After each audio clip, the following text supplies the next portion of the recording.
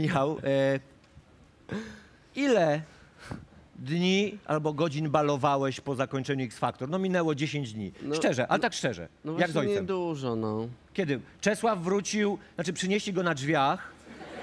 To były nieduże drzwi, to były drzwi od domku od dla lalek. O! Tak, po czterech dniach. A ty? Po dwóch, Dwa dni. no. A na ilu byłeś imprezach, tak między nami mówiąc, od czasu, kiedy zaczęły się finały? Na ilu byłeś imprezach? 100? Na 150 od To razu. nieźle, nieźle. Nie, nie, no, nie, nie było ich wiele. Nie. No byłem na kilku, ale ja tak e, odreagowuję sobie stres, tak?